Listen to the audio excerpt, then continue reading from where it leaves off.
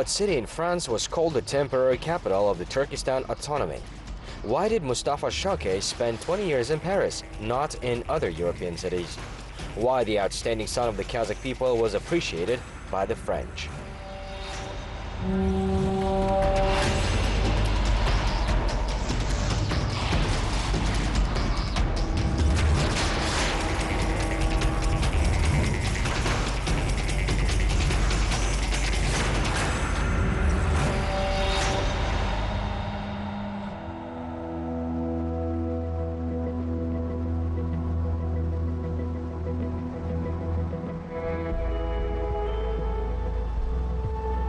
In this film, we will continue the story about the work of the Trails of Nomad's scientific expedition in France.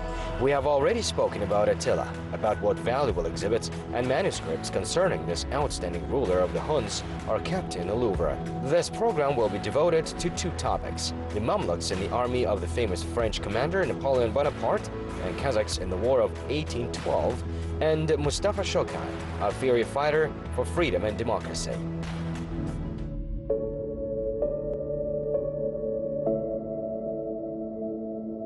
Many Kazakh people witnessed the construction of the Arc de Triomphe on the Charles de Gaulle Square in Paris. The historical monument was erected by order of Napoleon as a symbol of the glorious victories of his powerful army. However, Napoleon would also suffer defeats.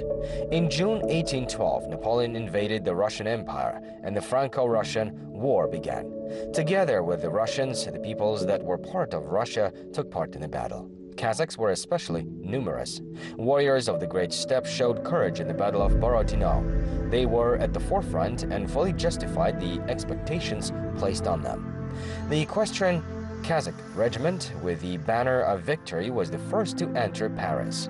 By the order of the Russian Emperor Alexander I, Kazakh warriors led by Amen Baybatyrov and Orenbay Janjigitov solemnly took part in the ceremony as the winners near the Arc de Triomphe on March 14, 1814. There are official documents confirming this fact kept in the Central Museum of our country. For example, a native of Akmola, Mohammed Abdirahmanov, was awarded the medal for the capture of Paris.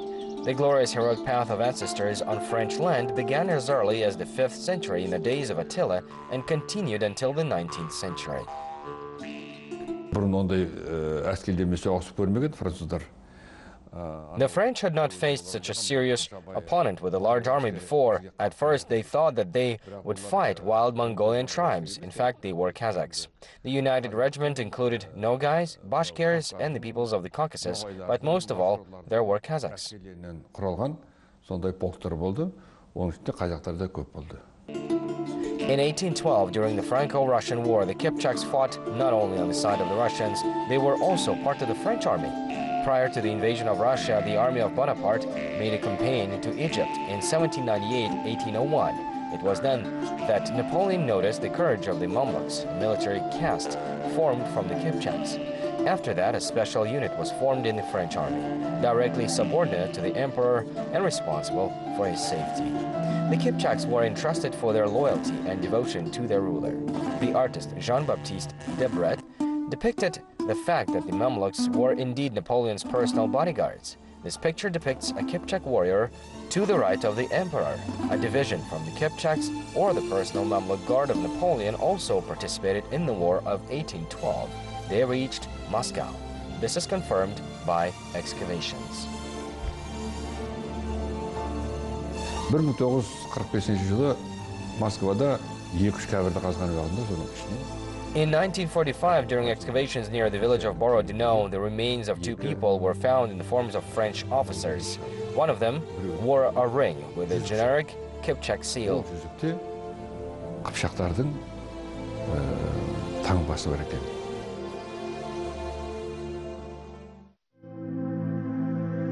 Exhibits stored in the Paris Louvre confirm courage of Mamluk in the French army. Participants of the scientific expedition got acquainted with them. According to scientists, these important historical sources require more detailed research. москваның түбінде э, бородино селосындағы э, кабірден шыққан мәйіт As a result of the excavations, it was established that the dress of the found remains was different from the others. It was special. The shoulder straps were of Napoleon's army, but the shape resembled Mamluks ones. наполеонның әскерінің офицерінің погондары бірақ үстіне киім киім-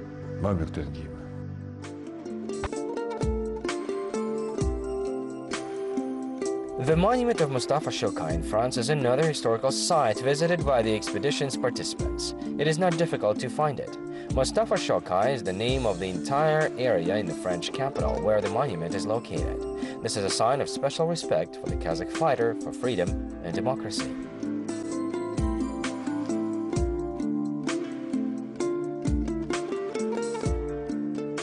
қазір ә, аз маз ә, мисал ә, қазақ ә, бауырларымыз Now Kazakhs especially come to worship the monument of Mustafa Shokai.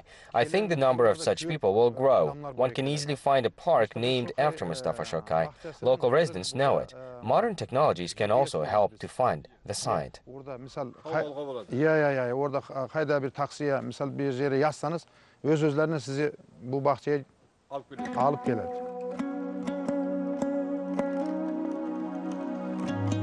Mustafa Shokai is respected not only by Kazakhs but also by the entire Turkic world and even by the French. The Germans consider him an outstanding public figure. Now, representatives of different nationalities are among members of the Kazakh French Society. One of them is Turkish Balaban Samidin. He studies the activities of Mustafa Shokai in Europe. Mustafa Çokay Türkiye alem için ultluk e, ulu adam. Türk e, dünyasının e, Mustafa Shokai is an outstanding son of the entire Turkic world. He fought for the independence of all Turks. We are proud to have a relationship with this great man. There are almost all representatives of the Turkic peoples in our society of friendship.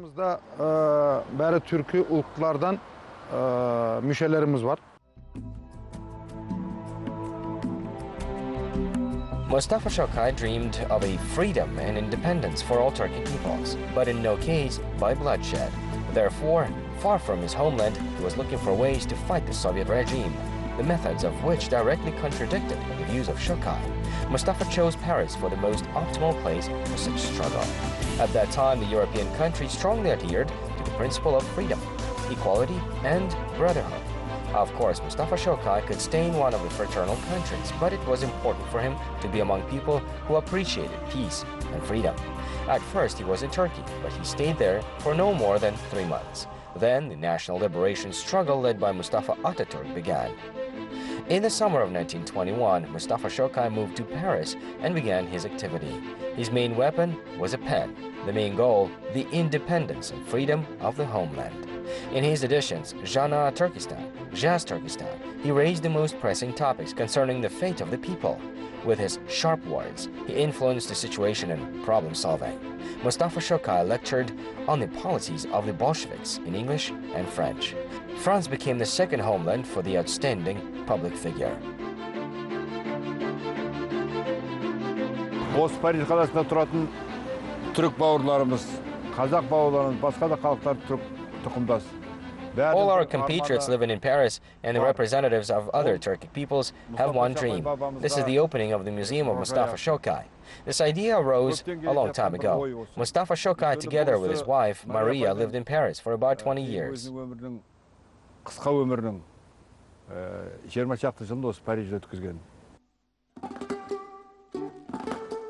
Mustafa Shokai Museum in Paris should be logical. After all, he is one of those who stood at the roots of the ideological dispute on the path to freedom. Head of scientific expedition Sapar Iskakov appealed to the people of Kazakhstan with a request.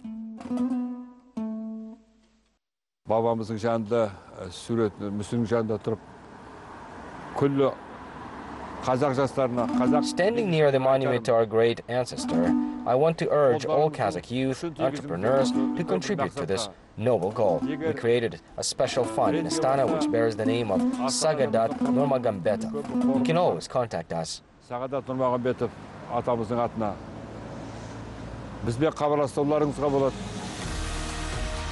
15 kilometers away from Paris, there is a small town of Nogent-sur-Marne. Mustafa Shokai lived in Paris from 1921 to 1923. Then he moved to Nogent-sur-Marne and stayed there until 1941. There were two reasons for the change of residence. First of all, life in Paris was very expensive.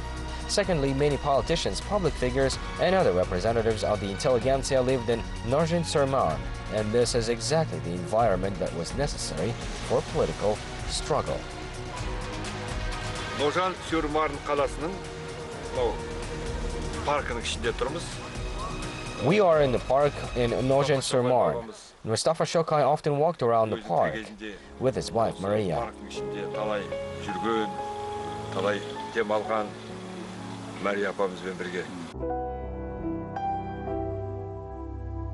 Mayor of the city, Jacques Martin, supported the initiative to open alleys in a sign of respect to the prominent Kazakh public figure. The head of the town also welcomed the participants of the scientific expedition with great hospitality. In turn, Kazakh scientists, according to custom, put chapan on the shoulders of the mayor. Mustafa Chokai est un, est un homme, euh, bien sûr, venu du Kazakhstan. Mustafa Shokai is a great figure for the French people who fought for democracy and freedom. Most important years of his life were spent in this city. France is considered his second home. Thanks to the monument established here, many French people get acquainted and know the outstanding son of the Kazakh people. We're always ready to support the beginnings of Kazakhstan and are ready to work together in the field of history, literature, and culture. Disons, les moyens de discuter avec lui parce que Having studied the documents of Nogent-sur-Marne archives, our compatriots found out that Mustafa Shokai lived at three addresses in France. From 1923 to 1930, he resided on Rue Baudin de Paris Street. From 1930 to 1933, along B Avenue, Parmentier. In the last eight years, he lived in a house along the Square de la Fontaine Street. French public figures call these addresses the three temporary capitals of the Turkestan autonomy because Mustafa Shokai voiced in these houses all his thoughts and ideas about independence and freedom. One of the local museums houses a photograph of Mustafa Shokai.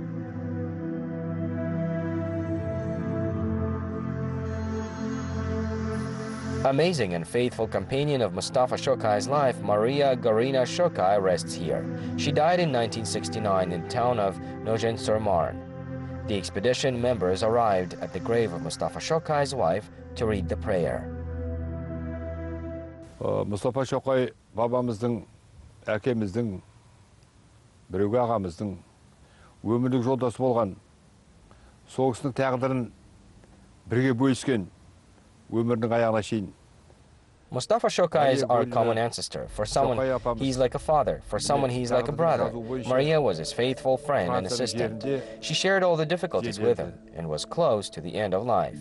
Maria Gorina Shokai was buried by fate in France, in the outskirts of Paris. жақсылық та болды қиын жағдай да болды бірақ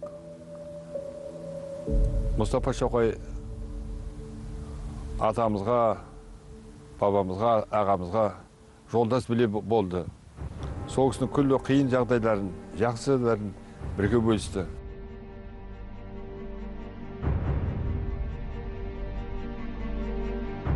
Mustafa Shokai and Marina Gorina met in the student years, or rather in 1960. Two years later, in 1918, they created a family. The young couple loved each other very much. However, Mustafa Shokai had one condition Maria should accept the Muslim faith. She wrote about this in her memoirs in 1963. Mustafa and I decided to get married, but we had different religions. I'm a Christian, Mustafa is a Muslim. He insisted that I accept Islam. One day, we got into a carriage and went to the old city.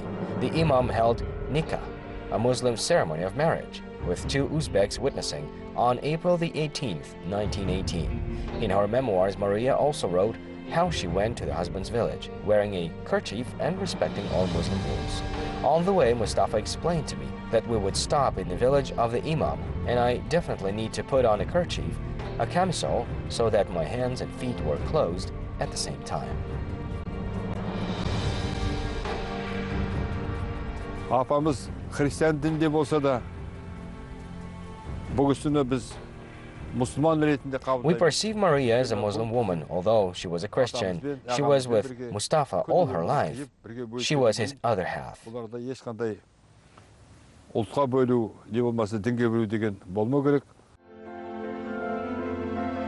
Maria Gorina Shokai wrote about life, work, struggle, heroic deeds of her husband. However, she never mentioned the reasons for his death. It is known that Mustafa Shokai died on December the 27th in 1941 in the Berlin hospital after mysterious circumstances, and this is quite understandable. After all, during the Second World War, the freedom fighter openly opposed Nazism and was the only one who directly announced this to the leaders of the fascist regime.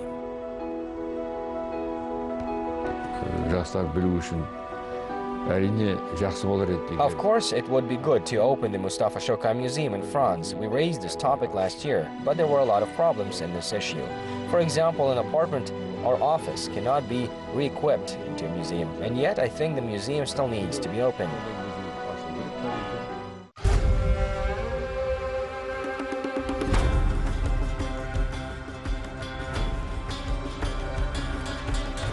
Members of the scientific expedition completed their trip to Europe in 2017 in Paris and returned to their homeland.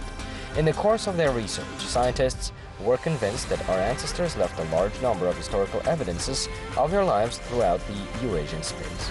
Many of them, as it turned out, were still unknown to a wide range of people. The Trails of Nomads expedition was intended to broaden the image of the past of the Kazakhs. It was launched in May 2017 in Astana. The first stop of the expedition was Arkalyk, where scientists collected a lot of useful information. Then they went to Kostanay, Aktobe, Uralsk, Ataral, and other regions of Kazakhstan. Interesting archival documents were found in the Orenburg and Astrakhan regions of Russia.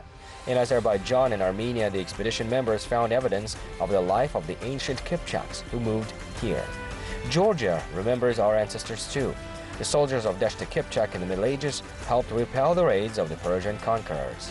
Head of the expedition Sapar Iskakov collected a lot of valuable data over two and a half months. In September, he presented the analysis at an international conference.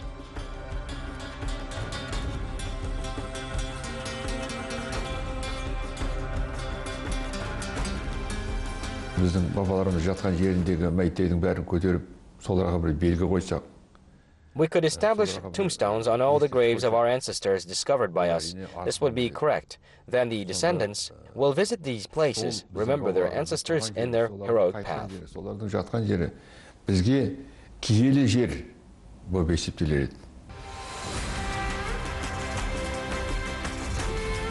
Many people spoke the Kipchak language at least over five countries. Among them there were Kumyks, Balkars, Karaites, Karachais, Nogais.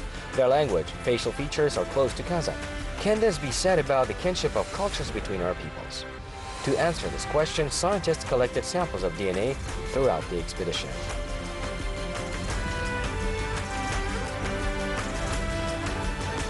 Средний казахский генетический портрет, вне зависимости от того, как, какой казах, ну, из какого казахского рода человек происходит, то есть будь он Найман, Аргын... The average Kazakh genetic portrait can be described as follows. Let it be Naiman, Adai, Argyn, or Dulat, for everyone there is a common sign. Speaking in more detail, Kazakhs are 50 to 55% close to the people of East Asia, 20 to 25% to Europe, 10 to 15% to South Asia, and the Middle East. That is, Kazakhs have a certain genetic connection with all the peoples of Eurasia on a vast stretch from Japan Japan to the UK. Because we were on the road of the great migration of nations, the peoples from the east passed through our territory to the west and left their genetic trace in our history. Великобритании. То есть казахи лежали на перекрестке больших миграционных путей, и, соответственно, те народы, которые проходили через территорию Казахстана, оставляли свой генетический след нашей истории. Participants of the Trails of Nomads scientific expedition covered more than 20,000 kilometers in 70 days. Kazakh scientists visited Germany, Italy, France, Poland, Hungary, Ukraine, Georgia, almost 20 countries of Europe.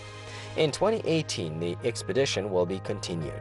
Its participants will go to Japan, South Korea, China, India, and a number of other countries. These are lands where our ancestors left their precious heritage, which will help to know the true past.